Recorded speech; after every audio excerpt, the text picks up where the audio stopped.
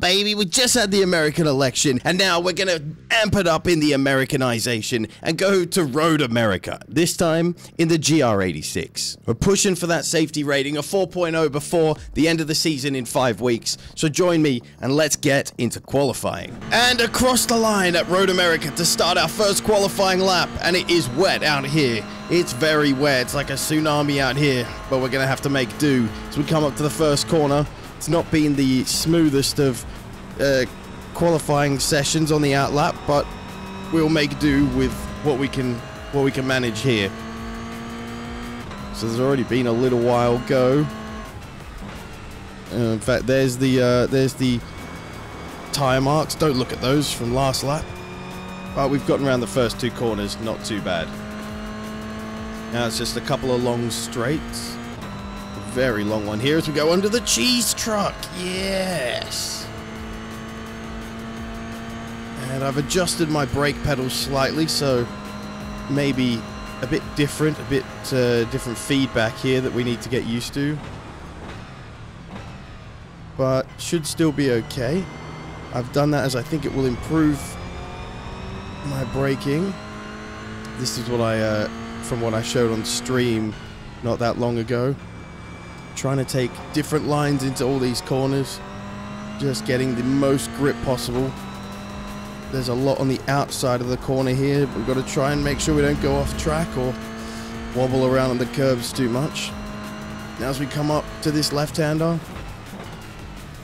again, trying to find the grip here. It's not quick, but we've managed to get around the corner, which is the main thing. Again, seems to be quite a lot of grip on this outside edge here. We might manage to stick full throttle on, on the throttle all the way around. Not full throttle, that would be ridiculous. Uh, good. Come up to this. I'm going to do a slight lift just to be safe. I don't think you need to, but I just can't mess up. I can't afford to mess up this lap. And now a right-hander coming up at the end here. Should be able to take this. Best time so far is a 258. Um, we've gone around that. Says we're down on our time, but I haven't set a time yet, so I don't know what's going on here. But I'm driving very cautiously, and that's understandable. I don't think there's going to be time for me to set another qualifying lap. No! Just as I say that, the brakes, the brakes lock, and I'm gone. I'm gone, and there's no time. There's only a minute and ten left, and that was my only chance. And I will now come across the line with no lap time set. We must be in a pretty bad uh, split because only two people managed to set a time. I wasn't one of them. So we're going to be starting in P9. Join me in the wet and let's head to the grid. And the leaders are off. The lights are about to go green and we're underway here.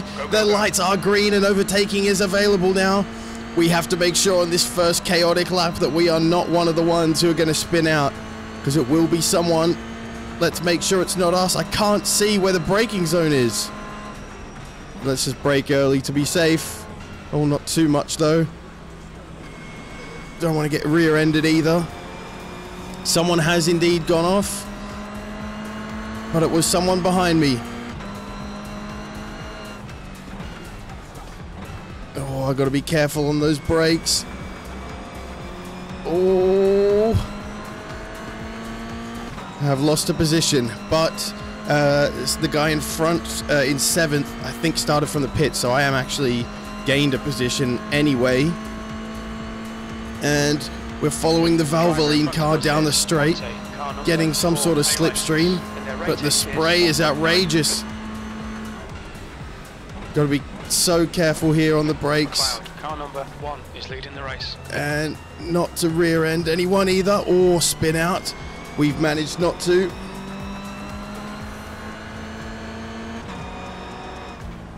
Guy sending it down the inside here. Oh, and he spot. Oh. No, it's okay. We didn't get any incident points. He lost the control a little bit. On the exit. Oh, just like I did there. And I rear-ended him, but thankfully it was nothing major. But again, we've lost a position. We're going. Look, we haven't yet spun out, but we're not exactly going quick. We're losing positions left, right, and center. I do want to cover, not only cover this off on the outside, but stay on the outside to find as much grip as possible away from that pesky racing line. Whoa, my days. Oh, that was nearly a disaster. front is Toby, car number 7, C license, and their rating is 1.7. Again, a bit of a lift off here just to be safe. And I think that was definitely a good idea. Oh my gosh, I've got to be careful here. They're making contact with each other. I was gaining on them fast, both of them, Looks like it's but the contact. Oh, and that's a good, good pass here. We're going to get some traction on the outside, and we have actually made a double overtake there. That wasn't actually that bad. That was nice. Somehow. The guy ahead is Francisco, car number 11. Again, trying to find the grip, and we have done. This is where I spun out in qualifying. Let's not make that happen again. On to pit straight now. It's not clean, really. It wasn't as smoothest as that we can do, but we've managed nearly to survive a lap. Oh, only five more of those to go. Oh, and that one wasn't good either. I've slid four-wheel slide right off. Uh, it's just an off track, but I've lost a position from that too. And there was another guy, another blue blue 86 behind that did the same thing. Under the cheese truck we go. Oh, big spin out in front. Which way is he going to go? Oh my god, he's not putting the brakes on. He's going everywhere, but I've managed to predict it well enough to go around him. Oh, lucky I was a bit further back, I think. But that means we did make up another position back into seventh. Although the rest of the pack is. They've just buggered off. I need to start growing some cojones and braking a bit later. Because I notice I'm going so slow through all the corners and yet still still, you know, spinning it up on exit. It's not it's not the entry that's that's that I'm messing up. So I need I can go a bit harder, I think, on braking later. Let's try it ahead. Surely nothing bad will come of this. Famous last words.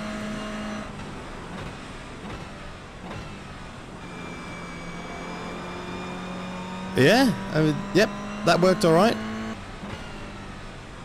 Let's take this grippier line out here. Now that's better. Okay, I've, I've got the hang of it here. No, no problemo. No problemo. We're not really closing the gap to anybody ahead, though. In fact, it's got two seconds greater since I last mentioned it. Um, oh, there and thereabouts. Whoa, a lot of rotation on the car, not much speed, though. Oh, my days. poo. Massive poo in my pants right now. Oh, my days. Many poos shot out of my A-knife. New fastest lap for me. That's right up there. That's right up there with the top five in terms of fastest lap times. So uh, we'll take that as a as a, a minor win, or at least a good sign of progress. Anyway. Oh no! Oh no! Oh, I caught it. I managed to catch it. Nearly swung out at the rear and surprised me like that. Whoa, on the grass. Oh my! That's even more poo than last time. Only 13 seconds to go, which means this is going to be the white flag lap. Comfortably in sixth, and with me driving, anything could happen. But let's do a good lap here. Let's put in a good lap, and we should stay in this position, which would be a good one for us. Oh, incident, incident in this corner for the guy ahead. There he is. There he is. We're going to make up a place. Incredible. He's done it for us. Thank you, Matthew Rhodes. Oh, we've passed him from an incident in the carousel, the fake one, not the Nurburgring one, and we've we've we, we, we've we've gone past. Rhodes. Yeah, he's had another incident. He's gone well, well back. Well, well Danny Welbeck, and he's gone. 10.8 is now the gap behind, but we've also come round the last corner incredibly. and we are going to come across the line, take the checkered flag in P P5. It says P6, but we're in P5. Great P5, drive, great race. There we are, Well. P5, ladies and gentlemen, in the wet at Road America. Not too bad, very solid work. But before I check the results, don't go anywhere because we have a second race coming. Plus, if you are enjoying this video, please do not forget to smash that subscribe button so that you don't miss any more. And you can join my Discord. Link is the uh, first in the description. And the results are in. They better be good. They're they're okay. Plus 0.02, pretty small. Um, we had a couple of incidents, but nothing major. But we got a nice plus 48 to our iRating, so nice. We'll take that and uh, back near 1300, which is where we want to be. And now I think it's time for some fun. We're going to go back to one of the most chaotic circuits. So if, you, you're a rookie, you know that this is one of the most chaotic tracks in the game, when you're starting out especially. Circuit de Lédenon. Let's jump into qualifying. And we are underway for our first qualifying lap. Now I messed up the final corner, so this lap is not going to be, it's not possible that it's going to be the greatest, but we can at least set a sort of baseline lap here. In fact, the first couple of corners weren't the greatest anyway, but that's okay. We can still maximize the rest of the lap that we have here. And other than that, in practice, I've been doing pretty well. So I'm pretty. I should be able to do something here. But that always comes with a risk saying that. You never know. The commentator's curse. As we go through the hairpin, I didn't do too badly. Take as wide a line as possible here. Just a slight lift off so that we stay in at the correct line for this uphill section, which again as wasn't too bad. Now over the crest, where we can finally see the apex. And then this is a weird long corner that tightens at the end here. In fact, that was actually alright. I'll be surprised if I do it as well as that next lap. Unfortunately, because the first part of this lap wasn't great. Ooh, thought I might have to counter steer there, but no, it's okay. We got through the corner unscathed, and we will set a time. Unlike last race, we will actually set a time, 35.53. and we will start our white flag lap as well. P3. Your P3. current rate 0.9. Right, well, we ended up in P5, but we know that's not where we're going to finish because this is a chaotic race. A lot of incline changes, and perhaps a lot of rookies in here as well. So get ready for some fun. Join me, and let's head to the grid. And the lights are on. We're about to get underway. And there they are. They are green as we take off from P5, coming over to the middle slightly. Squeeze this guy in here. See if we can't get past here in the first corner. No, he, he defended nicely. I didn't want to cause too much chaos in that first section. However, we have. Oh, well, we're still fighting with P4 here. Leave him some space. Uh, we have made up the position now. Oh, he's going to bloody send it down there. But there was a little bit of contact in front on this McDonald's car. Oh, big squeezed. Oh. oh, contact. Oh, it's it's light. It's light. It's nothing major. It's just it's just racing. Just racing contact here.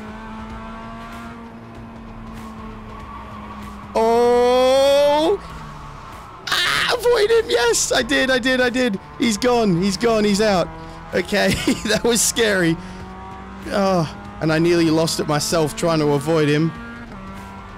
But everything is okay for now. Let's get through this left-hander. Getting caught a little bit from behind. This is now Alex. Car Charlie Croker. Who I know just messaged me, said he's in the Discord, so I know you're watching this, mate, and I am trying my very hardest to defend against you. I didn't take a great corner. Oh, I didn't manage to get past though. this is good. This is why I love rookie class races. I know we're mostly D and C class, but uh, just uh, maybe it's the MX5, maybe it's the maybe it's the tracks that they offer. I don't know, but it's so much fun. Yes, another spin out. It's the McDonald's car of Alex Hems. He's gone. He's gone. So we are through. We're in top three now. Podium position here. A slight lift through here. Oh, bigger lift needed than we actually made. All right, Nick. The next car is Curry. Car number And two. got Curry ahead of us, which would be great if it was lunchtime, and that's what was coming for dinner. Oh, I'm gonna get rear-ended. Oh my days, I did. Oh, and I got side-ended now. What was that, mate? And about 25 people have gone past me. Wheel damage, but not enough to be called in. If we can manage it for the rest of the uh, six, seven laps, then we should be able to. We should be fine. We've made up a, another position and a pretty simple overtake there into the into the hairpin, the banked hairpin. Damaged wheel nearly sending me outside track limits there. This is it's a little bit harder to control the car than I would like, but it's not outrageous. Hey, look in your mirrors, your mirrors, mate. What are you doing?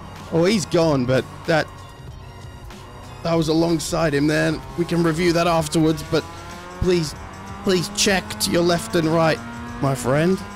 Sit behind Andreas here. And see if we can get another. P6. Good lap. That's your best in He's braking there. Don't find that necessary. So let's see if we can't make an overtake here. Where he's clearly not as confident, and we have done. It's not maybe the best place to overtake, Nice but one, Nick. Great move. Keep he's not. Oh, oh, oh, that's not good. That's not good. That's not good. That's on me. That one's on me. Oh no.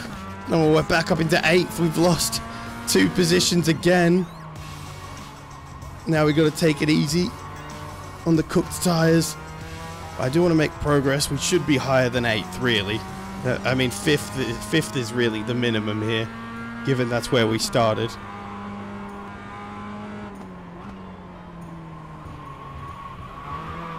No, nearly. Uh, I nearly screwed it up again on that hairpin. And I have screwed it up enough to let the car behind me close the gap to 0.2 seconds there for a minute. Slightly back up now, 0.4, but it's still close. The gap in front is still around 2.4, 2.5 seconds.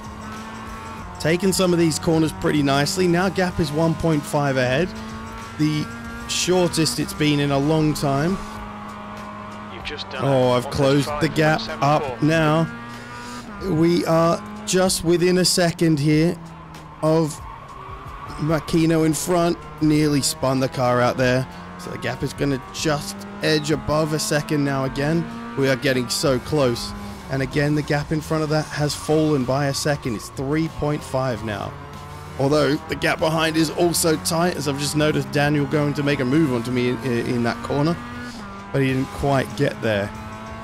This is going to be the white flag lap as we come across the line here. The gap is 0.8 seconds. It is this lap or never.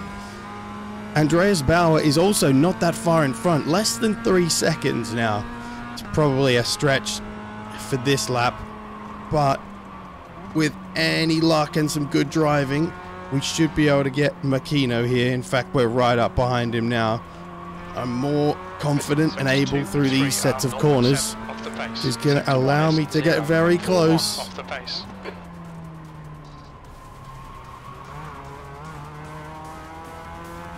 Oh, look at us three all together now. 1.5 separates us three here. As Andreas, some reason, goes to the inside through that corner.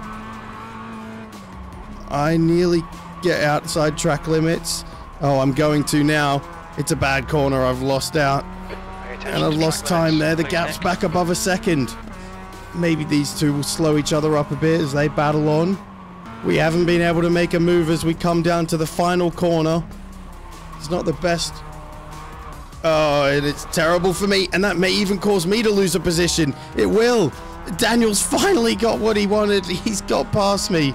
And unfortunately, a terrible, terrible last corner caps off a pretty terrible race. So we finish in P9. And the results are in. It's not going to be good, and it's not. We've lost all the progress we made on our iRating there, plus five, uh, and we uh, we've also lost a substantial chunk to our safety rating as well. Didn't do us any good in terms of progress, but it was a lot of fun, and we can keep pushing. We got five more weeks. Only weakness I have is for the brunettes. You already know I'll kill any shit I do next. No kids, so I'm raising the roof. Next year they'll admit they just stands like an Uzbek.